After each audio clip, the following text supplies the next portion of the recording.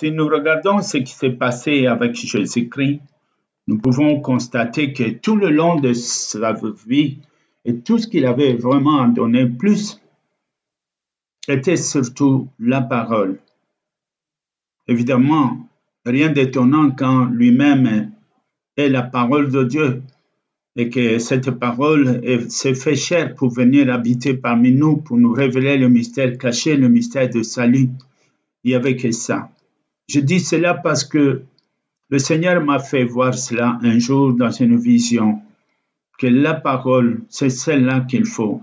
La parole est considérée quelque part aussi, quand on regarde dans le livre d'Éphésiens, au chapitre, fin du chapitre 5, comme, elle est considérée comme de l'eau qui lave, qui lave, qui lave notre corps, qui nous lave de nos caractères, qui nous lave de tout ce qui est en nous et qui nous suit devant le Seigneur pour que nous puissions maintenant nous positionner dans un bon état devant notre Seigneur et pour être accepté de Dieu, la parole de Dieu.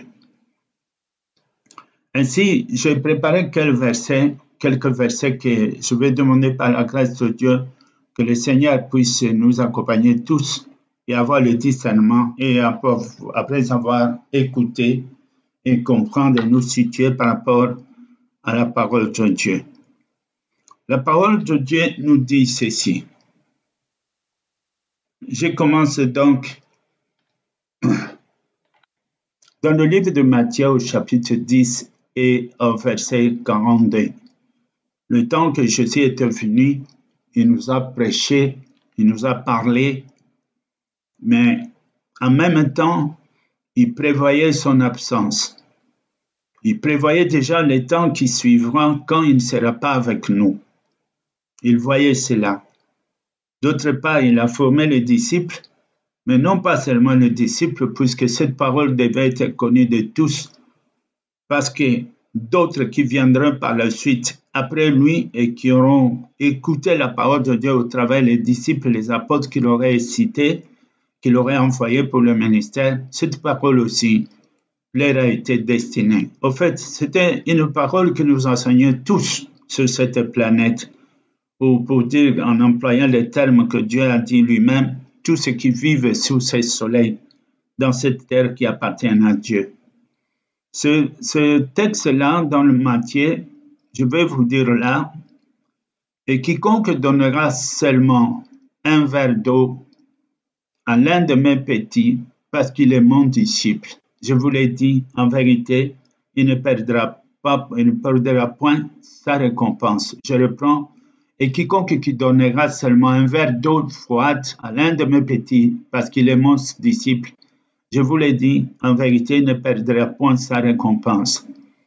Le Seigneur nous recommande là, au fait, donner un verre d'eau, parce qu'il est le disciple de Christ.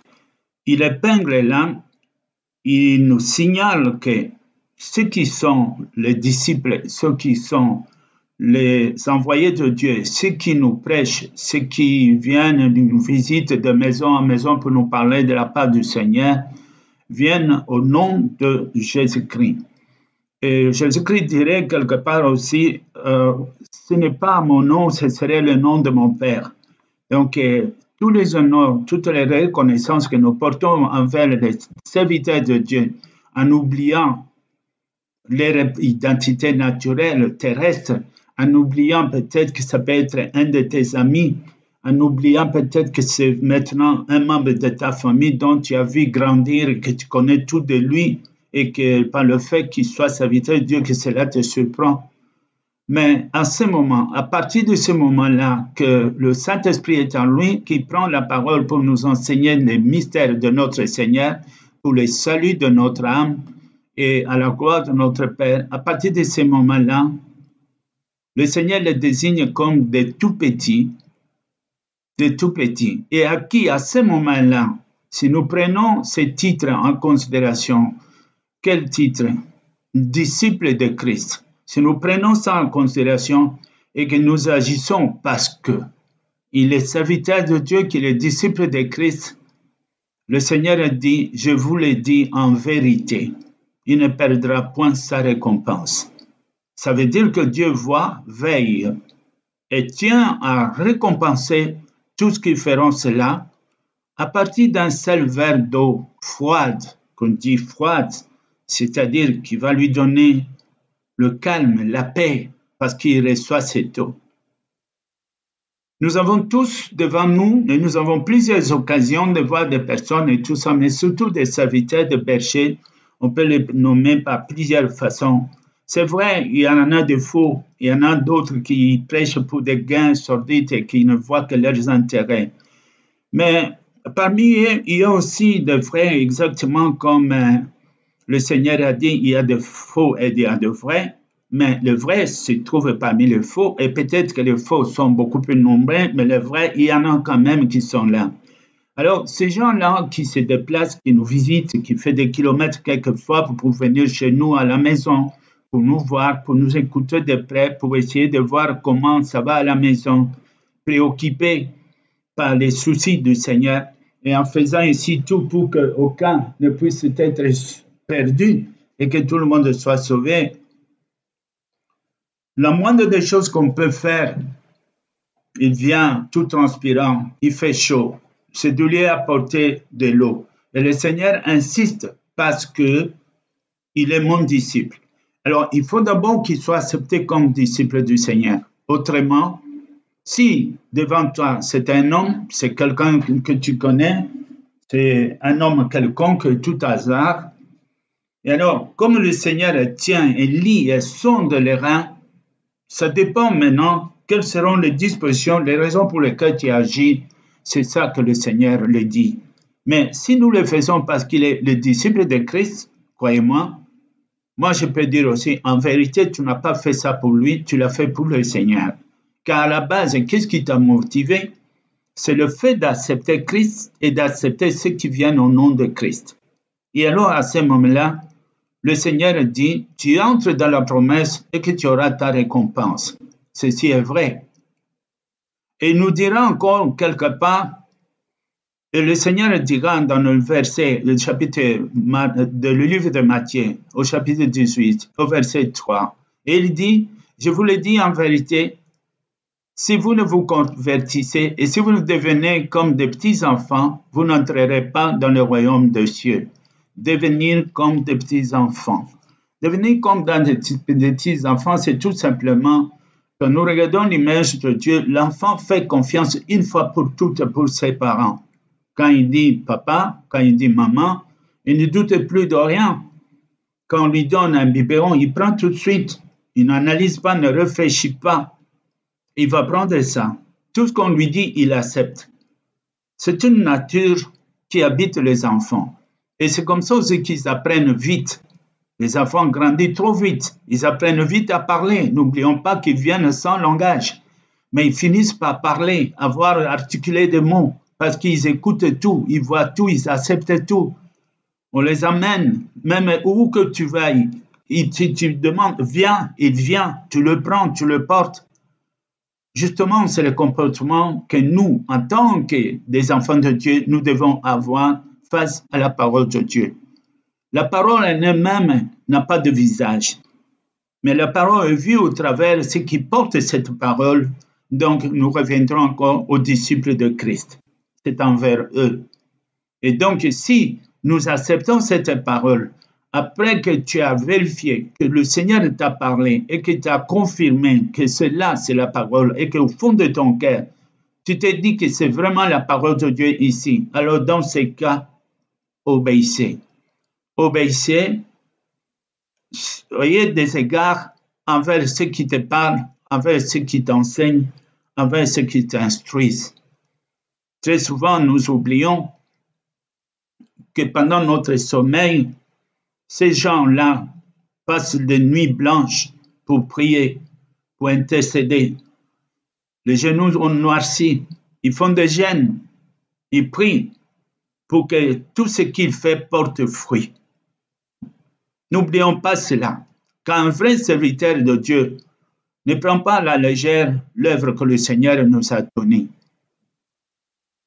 il prend ça au sérieux, il veille comme un bon berger doit veiller au troupeau. Il va regarder comment ils sont, leur santé, leur vie, leur comportement, quand ils sont malades, quand ils sont affaiblis, quand ils ont soif. S'ils se trouvent quelque part et que le terrain ne convient pas pour les troupeaux, il doit voir toutes ces choses. Autrement, le berger, c'est quoi? Le berger, c'est le pasteur. Le pasteur, c'est le berger, celui qui a la charge du troupeau de Christ. Pierre n'aime pas manquer une phrase pour cela, pour nous le dire. 1 Pierre au chapitre 5 au verset 2, il va dire donc, Paissez le troupeau de Dieu qui est sous votre garde,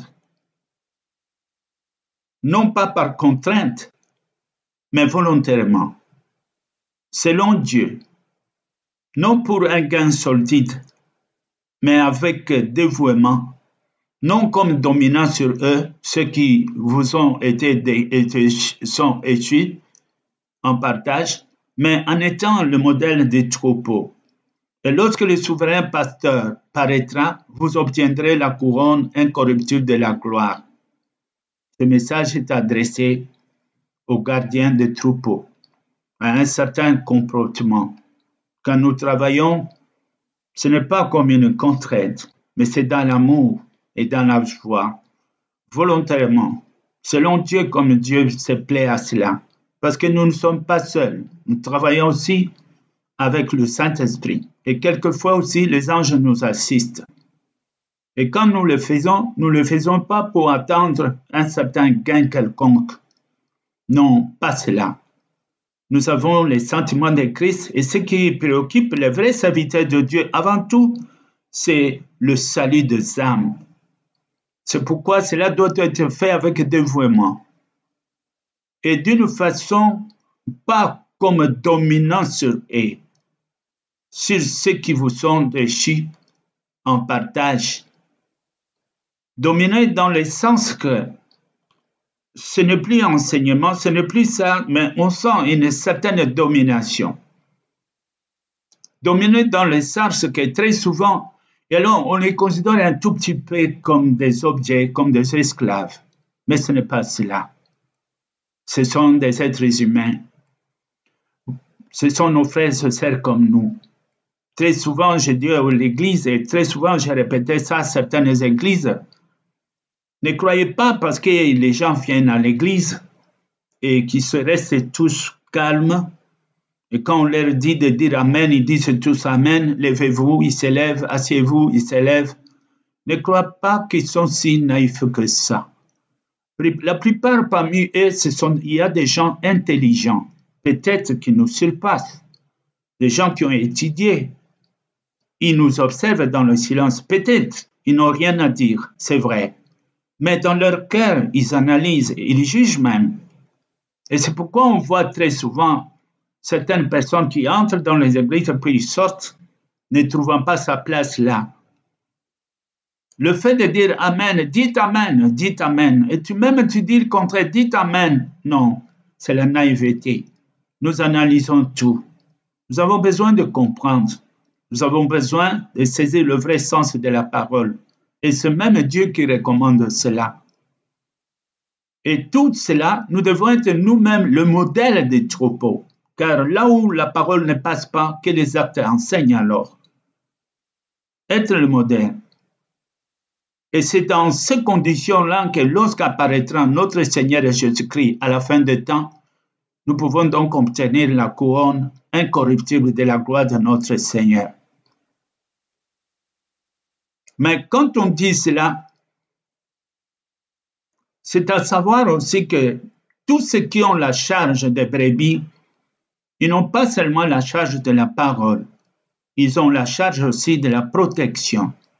Ils ont la charge aussi de garder les troupeaux face surtout aux ennemis invisibles.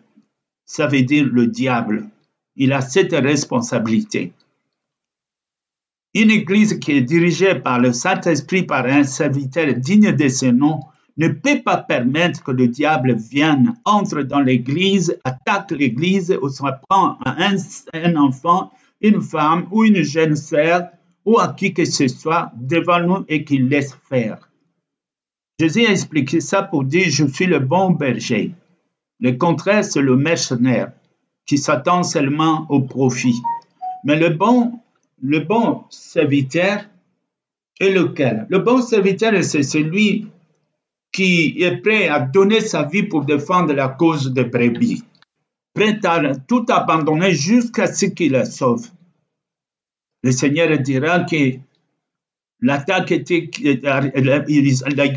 le troupeau a été attaqué, les loups ont dévoré les brebis, et lui, le mercenaire, il a fui. Parce que ce qui l'intéresse, ce n'est pas le bien-être des troupeaux, mais lui, c'est le lait, c'est la graisse des troupeaux. Il se contente de cela.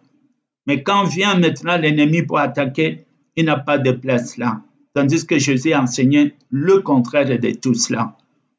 Mais quand il enseigne le contraire, ce le contraire-là, cette disposition-là, cette façon de voir les choses, c'est ce qu'il a transmis ça aussi aux disciples de Christ. Et quand même nous sommes, nous, là, puisque après le baptême, nous savons que quelque part doit naître en nous ce ministère de témoignage, c'est-à-dire ne pas te taire, mais de répandre la parole de Dieu. Quand nous le faisons, nous allons tout de suite remarquer aussi qu'il y aura ce combat qui va arriver. Il y a des gens que tu vas essayer d'intervenir pour donner la parole de Dieu, que quelques jours après, ils s'en prennent à toi, ou ceci, ou tout ça, des choses semblables qui vont arriver et seront ton attitude. Évidemment, c'est là où il faut de la sagesse. On ne peut pas obliger. On n'obligera jamais. Car dans la parole de Dieu, je vois nulle part où c'est un impératif pour dire tu dois. C'est vrai, à la fin, tout genou fléchira. C'est impératif. Mais autant que nous sommes vivants ici sur cette planète, c'est si tu veux, si tu crois, si tu acceptes, et alors le Seigneur viendra. Donc, sur la parole de Dieu et en même temps la douceur. On fait tout donc pour essayer de nous faire comprendre par tous, car nous sommes différents les uns des autres. Il y en a qui comprennent vite, il y en a qui ne comprennent pas vite. Mais il faut que cela se fasse de manière à ce que tous parviennent à la vérité, car ce n'est que par la vérité que nous pouvons être sauvés. Dans le ministère que le Seigneur nous a donné, le livre de 2 Corinthiens au chapitre 10, verset 3, nous met en garde. Et il va nous dire ceci, si nous marchons dans la chair, nous ne combattons pas selon la chair. Car les armes avec lesquelles nous combattons ne sont pas charnelles, mais elles sont puissantes par la vertu de Dieu pour renverser des forteresses les forteresses, je vais vous expliquer, je crois que vous pouvez comprendre ça tout de suite. Les forteresses, dans les temps physiques, on dit, ce sont ces bâtiments dans l'époque qui étaient construits et on bâtissait des forteresses pour se faire protéger des attaques des ennemis. C'était trop souvent des murs construits à une très grande hauteur et qu'on laissait des petits passages pour les archers qui pouvaient tirer des flèches au travers de ces passages à l'image même que nous attendons parler que le mythe de Jéricho était entouré de cette forteresse-là. Mais forteresse spirituellement, cela s'est fait dans certaines personnes où l'esprit de l'incrédulité y siège. Et alors, vous allez remarquer, quand tu parles de Dieu, ça se lève tout de suite et hop, elle ne veut plus rien attendre. À partir de ce moment, tout est bouclé. Ce sont des forteresses qui se lèvent. Après, tu peux dire tout ce que tu veux. Ils ne comprendront rien. Nous voyons très souvent, c'est même accompagné d'un certain orgueil. Essaye de parler, par exemple, avec euh, des témoins de Jéhovah. Essaye de parler, tu vas voir comment il va faire. Avec un air mon cœur, tu commences à parler que des gens, tout ce que tu dis, ça ne passe pas. Il attend pour te dire que le nom de Dieu chez Jéhovah. Il va te répéter ça mille fois. Et même il est prêt de revenir le lendemain. Ne sachant pas qu'ils sont perdus, croyant qu'ils savent alors qu'ils ne savent pas, et ils ne savent pas qu'ils ne savent pas, voilà les sorts. Dans de telles situations, il n'y a que Dieu qui peut intervenir. Ou alors combattre cet esprit d'aveuglement qui les habite. C'est pourquoi la parole de Dieu est dit, nous ne combattons pas selon la chair, mais nous combattons avec les esprits. Et là, le verset 5 dit, nous renversons les raisonnements de tout auteur qui s'élève contre la connaissance de Dieu et nous amenons toute pensée captive à l'obéissance à Christ. Nous sommes aussi prêts à punir toute désobéissance lorsque votre obéissance sera complète. Le Seigneur n'a rien oublié. Tout ce que nous faisons pour essayer de sauver l'homme, sauver l'âme de Dieu. Et s'il se trouve que l'âme est dominée quelque part, nous sommes capables de renverser ces raisonnements et de punir sur le faux la désobéissance par l'obéissance, ceux qui obéissent, ils ont donc ce pouvoir de punir la désobéissance afin de ramener toute âme à Christ pour être sauvée. Nous avons cela. Ce qui t'a maintenant au serviteur et au berger qui, par l'expérience qu'il a vécue, par les expériences qu'il a accumulées, de pouvoir faire la part des choses.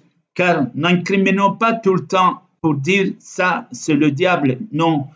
Quelquefois, les noms proviennent d'ailleurs, par une conviction, peut-être à cause du vécu, peut-être à cause de l'environnement ou des choses semblables, ou d'une volonté propre parce que ça existe. Autrement, il n'y aurait pas de justice.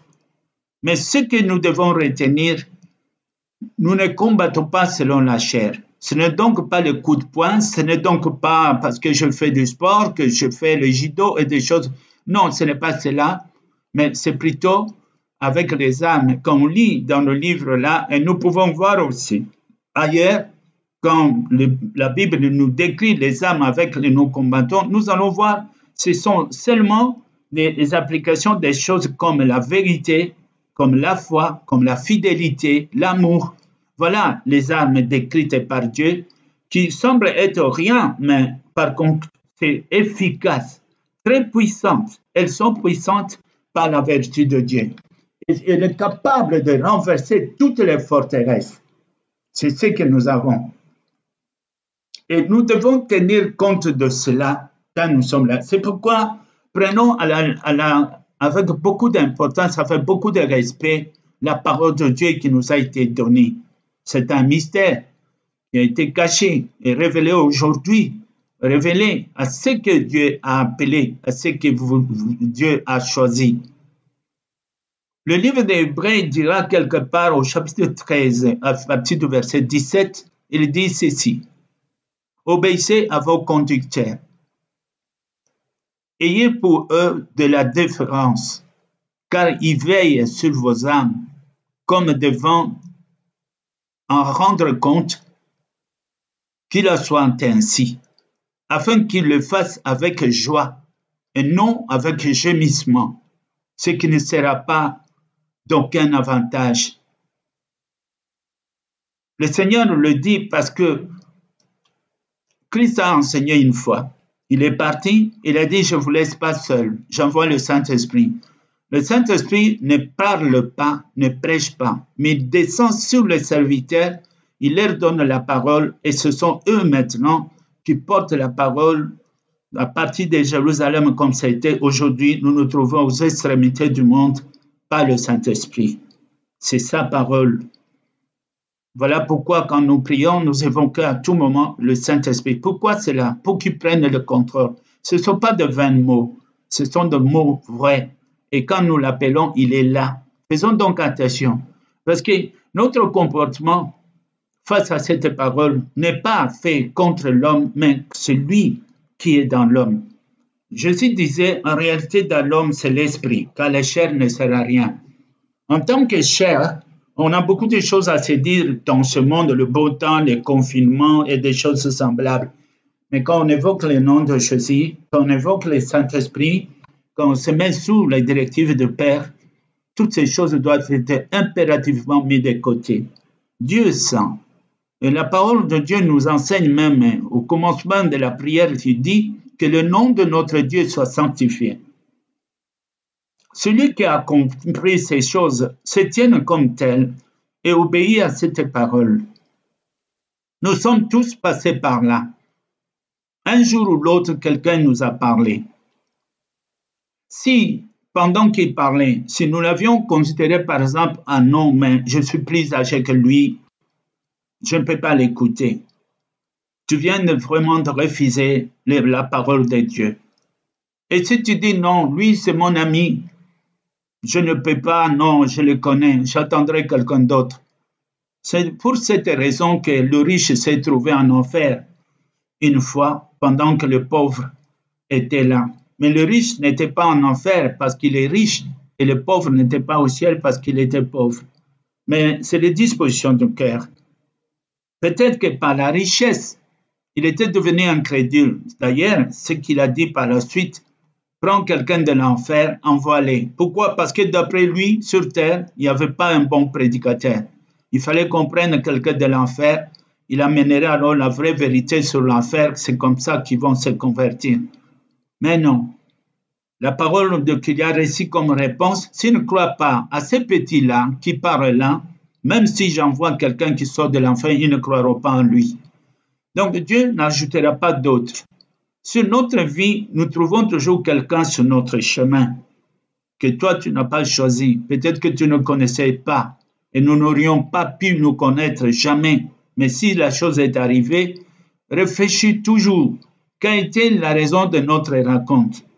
Si c'était parce que nous avons été dans un restaurant, et même dans ce restaurant. Mais si à la base, c'était la parole de Christ qui était le fondement de notre rencontre et que de ça que nous avons parlé, n'oublie pas Personne ne peut venir devant cette parole si le Père ne le décide pas. C'était donc la volonté de Dieu que tu sois là, que tu écoutes et que tu sois convaincu par le Saint-Esprit que cette parole est vitale et que te concerne et que tu as compris que Dieu t'invite à la repentance afin que tu puisses le servir. Mais à partir de ce moment, ne l'oublie jamais. Ne l'oublie jamais. Ces hommes-là qui nous parlent de Dieu, ces hommes-là qui nous enseignent, ces hommes-là, ils ont fait un chemin. Ils ont des années derrière. Le Seigneur n'envoie jamais un novice. Le Seigneur envoie toujours des gens, comme il a dit, quand tu mettras des anciens dans l'église, fais attention, ne nomme pas les nouveaux convertis, de père qu'avant longtemps, manquant de maturité, qui trébichent et leur nudité sera en vie. Donc il y a un enseignement, il y a une préparation qui doit être prouvée. Et, peut-être prouvée que par l'obéissance, par la pratique de ceux qui ont compris, ceux qui ont accepté, qui ont mis en pratique, parce que la parole de Dieu, je le répète et je le dis toujours, s'enseigne en trois dimensions. Il y a une partie pour l'écoute, mais il y a une autre qu'il faut voir, il faut que toucher. Les deux, ce qui reste là, très souvent on l'a pas. Alors, on se précipite sur l'écoute c'est à voir que tu construis une maison avec un mur. Non, il faut construire avec tous les autres murs. Autrement, il n'y a pas d'habitation. Ce sera peut-être un mur pour créer l'ombre sur le soleil, mais ce n'est pas une habitation. Quand le Seigneur a dit, oui, il y a des choses qu'on écoute, mais après avoir écouté, le Seigneur Jésus l'a dit, Jacques l'a répété, Jean lui-même l'a parlé, de mettre en parole en pratique. Pourquoi? Pour que le reste, ce qui est caché derrière ce que vous avez entendu, vous puissiez vivre cela. Autrement, ce n'est pas possible. Si vous écoutez, vous écoutez, vous écoutez, un an, deux ans, trois ans, tu seras sur le même pied, juste là. Tu vas croire peut-être que tu es allé loin. Tu es nulle part. Tu es juste au commencement. Parce que tu ne seras pas capable de te défendre. Jamais tu diras, par exemple, je marche pas selon la chair, je marche selon l'esprit. Marcher avec l'esprit, c'est déjà l'expérience. Car l'expérience, c'est ce que tu fais ensemble avec le Saint-Esprit.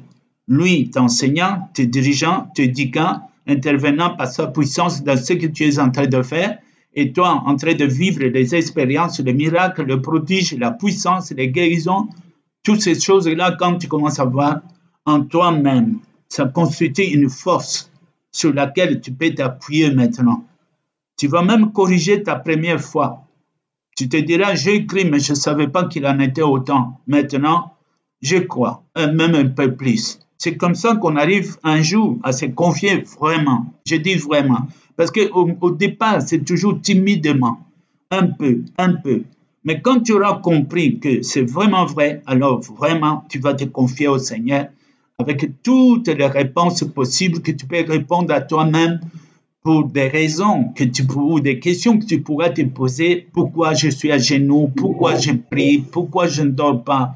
Ces questions-là, tu auras des réponses toi-même pour répondre à toi-même et tu pourras dire, j'ai entendu, j'ai vu, j'ai touché, maintenant je crois. Et c'est cela la base. Et comment cela? Par la pratique. Les deux parties qui restent, c'est dans la pratique qu'on les reçoit. Et c'est pourquoi on insiste très souvent. Un bon berger le dit, l'enseigne, mais il recommande aussi de mettre en pratique. Car il y a des choses qui ne nous appartiennent pas, il y a des enseignements qui ne nous appartiennent pas. Et c'est ça des enseignements qui appartiennent maintenant au Saint-Esprit lui-même qui va personnifier le message. Comme moi je dis maintenant, beaucoup écoutent ce message. Nous pouvons être mille, nous pouvons être dix mille à écouter ce message. Mais le message peut quitter au sens collectif pour devenir personnel si toutefois tu te donnes la peine de la suivre et de la mettre en pratique tout à coup, tu vois maintenant, tu découvres la révélation, une nouvelle révélation auprès de toi-même. Toutefois, elle sera selon la parole de Dieu, parce que quand le Saint-Esprit te révèle quelque chose, cela va être confirmé dans les Écritures. Et tout en gardant ton humilité, tout en gardant cet état d'enfantillage jusqu'à ce que le temps sera venu que le Seigneur lui-même te lève. Car le Seigneur résiste aux orgueilleux et fait grâce aux humbles. Tout ce qui s'élève de même d'un effort quelconque, comme on a vu beaucoup qui font comme ça, il y a beaucoup ici, il est connu, il ne peut pas le dire, mais une fois qu'il se déplace, il se trouve quelque part, il préfère maintenant qu'on l'appelle, je ne sais pas quoi, il s'est fait des titres de bishop, de ceci, mais c'est grave. Un jour, on était dans une bonne invitation, il y avait beaucoup de pasteurs, beaucoup. Je crois qu'on était au nombre de presque un millier de pasteurs, on était en Belgique. J'étais étonné de voir un pasteur avec sa veste et il a, fait écrire, il a vraiment demandé qu'on, qu'on il a abîmé le costume, il a fait écrire derrière avec de grandes lettres Bishop. Quand je vis ça, et je vis, il y avait d'autres, beaucoup de pasteurs qui riaient, qui riaient, ce qui m'a poussé un peu, je regardais, je dis, mais comment il fait ça? On ne le voit pas assez, quoi. Alors, je me suis approché pour voir il était qui, justement ce que j'ai soupçonné. J'ai entendu la langue qu'il parlait, j'ai dit voilà, voilà, voilà. Oh, c'est terrible. Il ne se rend pas compte combien c'est ridicule. Le Seigneur le dit, mais ils ne comprennent pas. C'est à cause de cela l'humilité est une bonne chose pour notre croissance. Qui veut aller loin? À partir de ta maison, écoute ton père, écoute ta mère, obéis à tes parents. C'est la base. Et ensuite, tu feras de même quand tu entendras la parole de Dieu. Humilie-toi. Laisse que Dieu t'élève. Dieu ne t'oublie pas, ne t'oubliera jamais. Dieu te voit. Il te connaît mieux que tu le crois. Il te voit. Il sait te sonner. Reste simple. C'est ces personnes-là, quelquefois, que nous voyons, mine de rien, qui vous parle de Dieu et tu peux négliger. Alors qu'en réalité, comme la Bible dit, beaucoup ont rencontré des anges sans le savoir. Et les traitements que nous leur donnons sans le savoir aussi. Mais va vers Dieu. Ça va jusque là-bas. Je vois que dans le livre de 1 Thessaloniciens au chapitre 5 verset 12, nous vous prions, frères, d'avoir de la considération à ceux qui travaillent parmi vous, qui vous dirigent dans le Seigneur et qui vous exhortent. Avoir de la considération. C'est vraiment l'important. Un vrai berger, qu'est-ce qu'il attend de la brebis du Seigneur? Ce n'est pas un gain quelconque, mais sa croissance. Sa croissance au terme spirituel de la manière à ce qu'ils connaissent Dieu, le connaître vraiment, et qu'ensuite qu'on puisse voir les œuvres, les actes de la parole qu'il avait entendue, qu'il les a mises en pratique. Et encore plus, quand on verra que ce qu'il est en train de dire, ce qu'il est en train de faire, c'est vraiment qui démontre que nous avons maintenant le même esprit, que c'est le Saint-Esprit qui agisse. Mais c'est la joie pour le Seigneur. C'est la joie au ciel, comme il a dit. Si quelqu'un sait me ramener une âme, c'est une fête au ciel. Nous participons à cette fête spirituellement. Un vrai chrétien, il a cela. Un vrai chrétien, un vrai serviteur de Dieu, il doit avoir ça. C'est ça qu'on appelle le sentiment de Christ. Avoir la même chose, avoir le même sentiment que Christ. Car Christ est mort pour tous. Il a payé avec sa vie. Il a payé avec son sang le salut des âmes. Et s'il y en a une qui vient, gloire à Dieu. Dieu a même dit par la bouche de Jésus-Christ, si quelqu'un me ramène une seule âme vers moi, une âme perdue, beaucoup de ses péchés seront pardonnés.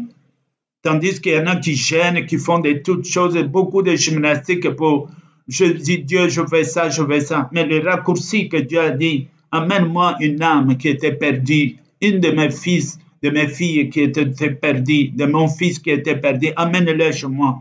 Et moi, je vais fermer le péché sur toutes les accusations qu'on porte sur toi. Cela est vrai, même si cela se faisait d'une façon tout à fait naturelle. Que dirais-tu si ton fils s'est perdu, par exemple, dans la ville, tu ne sais pas que quelqu'un vient, j'ai trouvé ton fils et je te l'ai amené. N'est-ce pas que cet homme mérite bien que tu l'accueilles, que tu le serres dans les bras? N'est-ce pas qu'il mérite bien? Jugeons en nous-mêmes. Si nous, hommes, nous sommes capables de faire ça, comment Dieu ne le ferait-il pas, lui qui connaît tout? Encore, nous avons des enfants sans toutefois savoir comment nous les avons eus avec exactitude, car nous ne les fabriquons pas, ce sont des dons de Dieu. Mais Dieu nous a créés. Donc il a commencé à partir de néant pour nous faire vivre, pour nous faire exister. À partir de néant, nous sommes ces créatures. Et quand il le fait, soyons donc reconnaissants pour cela. Le message que je donne aujourd'hui, bien-aimés, je vous en supplie, je vous en supplie encore au nom de Jésus-Christ. Je vais vous dire avec sincérité, tu peux prendre la Bible que tu as et essaye de lire la Bible du début à la fin. Qui est-ce que j'ai vu un jour qui s'est opposé à Dieu? Peut-être, je ne vois pas. Jonas, peut-être. Une fois, oui, c'est arrivé avec Jonas quels que soient les autres, que ce soit Moïse, que ce soit Goliath. Non, il s'est opposé contre le peuple de Dieu. Moïse, c'était contre le Pharaon. Le Pharaon était contre Moïse. C'est-à-dire, ce n'est pas directement Dieu, mais c'est l'image de ceux qui sont venus au nom de Dieu, au nom de l'Éternel. C'est eux se sont opposés contre. Pourquoi? Parce qu'ils avaient des apparences humaines. Ce sont des hommes Moïse devant Pharaon. Qui était Moïse? Mais on l'a vu naître là. Il était un gamin ramassé là, le fleuve venu. On l'a nourri là par la fille de la reine, la, fille de, Pharaon. Et voilà Moïse. C'est comme ça qu'il voyait Moïse. Mais ce que Moïse est, ce qui était en lui, ça, il ne savait pas. Donc, on pouvait s'opposer à Moïse et tout ça, mais je n'ai vu personne s'opposer à Dieu pour dire à Dieu, oh, Dieu, moi je te dis ceci. Personne.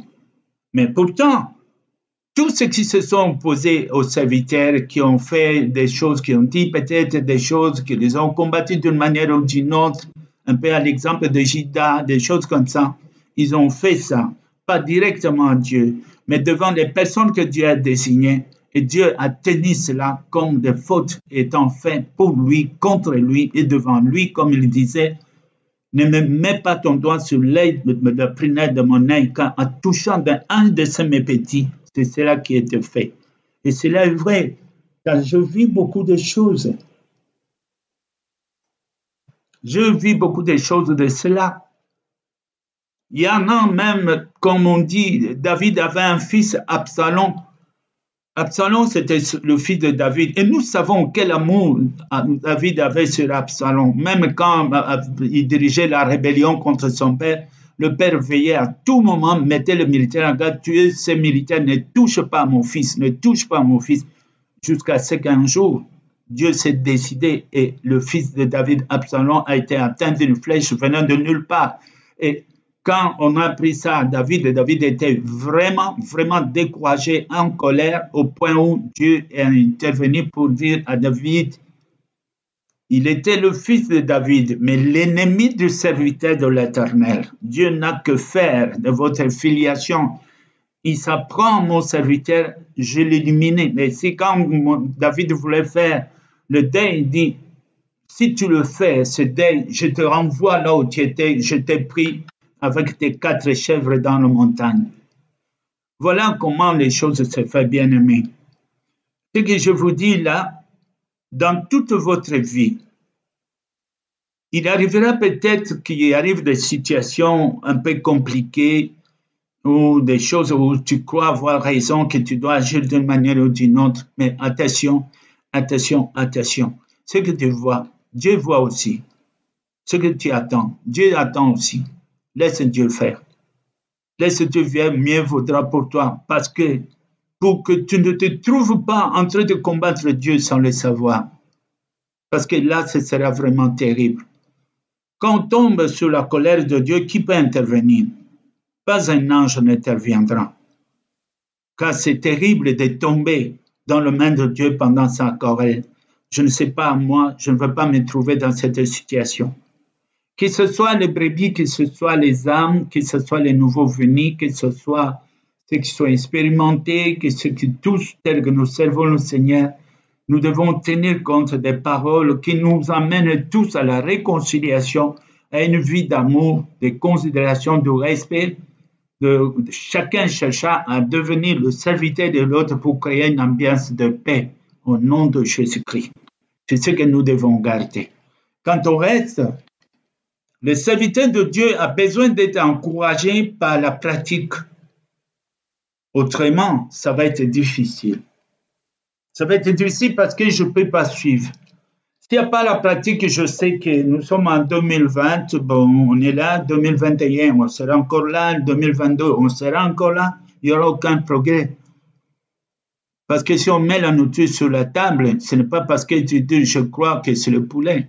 Non, il faut manger faut pas être comme un, malade à l'hôpital, on lui donne des comprimés, tout ça, il jette sous le lit et il ment au médecin que j'ai déjà tout pris. Tu peux faire, mais quel avantage? Alors pourquoi tu es là? Réfléchissons à cela car chaque parole de Dieu a un sens. Comment j'ai parlé dans le temps passé, que le Seigneur d'abord soit béni à cause de ce message, mais j'ai toujours dit ce que moi je dis, c'est ce que je fais. Et c'est pas le chemin à lequel je suis passé parce que je suis arrivé là. J'ai vécu pendant longtemps me disant chrétien, chrétien, chrétien, sans pouvoir saisir un mot sur la profondeur et dans l'exactitude vraiment du mot chrétien qui signifierait la multiplication de Christ dans le monde au travers de ceux qui croient. Nous sommes donc des ambassadeurs de Dieu, de Christ, en exhortant le monde comme si Dieu parlait lui-même au travers de nous envers ceux qui lui appartiennent. Comme le dit le livre des Corinthiens, je crois, au chapitre 5, quelque part. Je crois que c'est cela.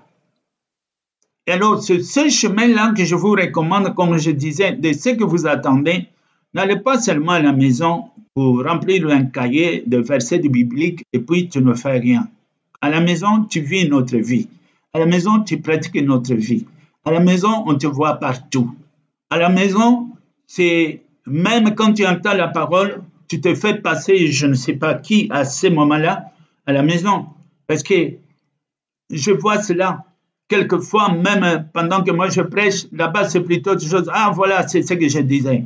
Ah, voilà, c'est ce que. Moi aussi, c'est ça que. Mais le problème n'est pas là. Le problème, c'est que la parole que tu attends, tu puisses la vivre. Mais comment tu peux sauver ta famille? Comment tu vas faire? On t'a vu, on t'a écouté, ça fait des années que tu es là. Mais ce qu'on entend de toi, c'est l'action. Même si tu fais venir quelqu'un en Christ, tu l'amènes. Mais s'il arrive, il te trouve toi là, dans une situation contraire, et peut-être pire que lui ne le fait pas. Mais comment tu peux le convaincre? Comment tu peux convaincre quelqu'un qui vient parce que tu l'as appelé? Lui, déjà, dans sa maison, il est stable. Avec son épouse, ils sont stables. Stables par la sagesse même humaine. Ils s'entendent bien. Alors quand ils viennent vers toi, toi le chrétien, maintenant toi, avec ta femme, tu es tout le temps en débat, en discussion. Et lui, il vient, donc il croyait trouver le meilleur, mais il trouve, il assiste à ça. Mais quel Dieu, maintenant, tu vas lui parler Soyons un peu sérieux. Mais il va te dire, chez moi, je n'aime même pas ça. Moi, avec ma femme, moi, avec mon mari, on s'entend bien. Mais vous qui connaissez Dieu, vu que vous, on vous appelle des chrétiens, mais qu'est-ce qui se passe maintenant, bien-aimé? C'est-à-dire, quelque part, tu sèmes et tu brûles toi-même la sémence. Tu annonces la parole et tu détruis toi-même la parole. Parce que les actes n'accompagnent pas. Renversons un peu les choses. Tu vas parler à quelqu'un et ils arrivent, même si chez eux ils vivaient tranquillement, quand ils arrivent, ils vont te voir avec les actes, avec la façon dont tu te comportes à la maison, avec tes enfants, avec ta femme, avec ton époux. À ce moment-là, il va dire, je vais laisser tous les autres amis, je vais m'attacher à mon frère ici. Je crois qu'ici, il y a l'espérance. Il va dire à sa femme, cet homme, je crois que avec lui, nous pouvons aller loin. Et la femme peut dire, c'est ce que je disais. J'ai toujours cherché, et je crois que suivant la voie de Dieu, ce Dieu-là, ça va nous sauver, car il y a beaucoup de problèmes, bien aimés. C'est comme ça qu'ils seront sauvés. L'homme a besoin, bien sûr, d'attendre, mais aussi de voir. Et s'il ne voit pas, si des gens tels que moi je suis ici, si vous apprenez que je suis en débat, en querelle, dans ma maison il n'y a pas de paix, tout soit en dispute, si vous, qu'est-ce que vous allez dire? Qu'est-ce que vous allez dire? Je vis et je vis tranquillement, je vis dans la paix, je vis dans la joie. C'est vrai, il peut y avoir n'importe quoi, mais ça ne se voit pas. Il n'y a rien qui traverse la nuit, rien c'est n'importe quoi. D'ailleurs, il n'y a pas de problème, mais s'il y en a eu, jamais on, passe la nuit pour dire le lendemain, oui, mais hier, ça n'existe pas. Ça n'existe pas. Pourquoi? Parce que la parole prêchée doit être aussi la parole vécue. C'est comme ça. Quoi que nous ayons, les gens vont regarder, ne trouvent rien à dire, rien à reprocher. Ce n'est pas parce que, oui, nous faisons de gymnastique physique. Non, ce n'est pas cela c'est parce que seulement cette parole que nous avons entendue, aidée par le Saint-Esprit, il arrive à nous aligner ensemble, à nous attendre, à nous comprendre, à nous aimer davantage pour la gloire de notre Dieu et à veiller à la parole. C'est comme ça que c'est. Donc nous sommes d'accord que seule la parole ne suffit pas, il faut aussi la mise en pratique. Et c'est pourquoi je disais très souvent, ce que vous avez réussi, transmettez-les aussi à d'autres. Ça serait bien dans le livre de, Romains, plutôt au chapitre 1, quand tu lis le tout premier verset, je crois que ça commence euh, chapitre 1 à partir du verset 8, que la colère de Dieu demeure contre tout ce qui garde captive la parole de Dieu, la vérité de Dieu, connaissant, sachant déjà que Dieu est Dieu, car Dieu leur a fait connaître ça, mais ils n'osent pas mettre la parole de Dieu en pratique pour la porter aux voisins, aux amis, aux parents, pour que eux aussi de leur part soient sauvés. Et très souvent, on les juge, lui, non, jamais, pas avec lui. Celui-là, non, moi, je ne m'attends pas avec lui. Lui, jamais. Mais si les quant à moi, quant à moi, quant à moi, si ces choses ne disparaissent pas de ta bouche, mais tu crois-tu vraiment que le Saint-Esprit va venir vers toi? Et là, c'est quel esprit qui va venir? Où est l'humilité? Où est l'obéissance? Où est la soumission? Prouve que tu as accepté Christ. On peut entrer de l'eau on en sort comme on a fait avec une douche. Mais le baptême, c'est la disposition du cœur, une prise de conscience, une décision que tu, prends à partir de ce moment, plus jamais marcher comme autrefois. Et d'écouter la parole de Dieu et d'être forcé, t'es forcé. S'il y a un combat à faire, fais-le à ce moment-là. Que le nom de notre Seigneur Jésus-Christ soit béni.